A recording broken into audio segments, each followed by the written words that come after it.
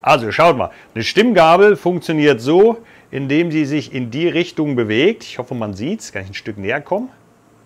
So, vielleicht vor das blaue Hemd mal zu halten. So, die macht diese Bewegung. Und das müssen wir auch mit unseren kleinen Stimmgabeln erzeugen, dass die in diese Richtung schwingt. Und dazu,